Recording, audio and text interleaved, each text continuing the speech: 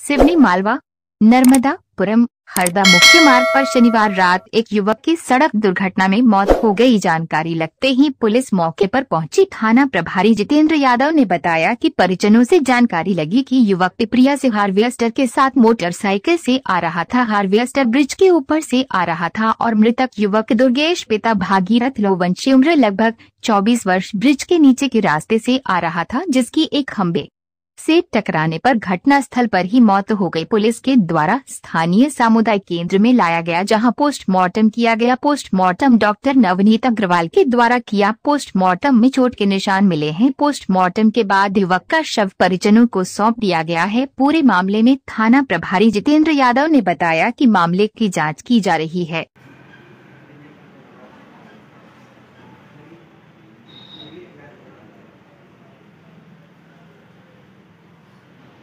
Sir, क्या मामला आया आज?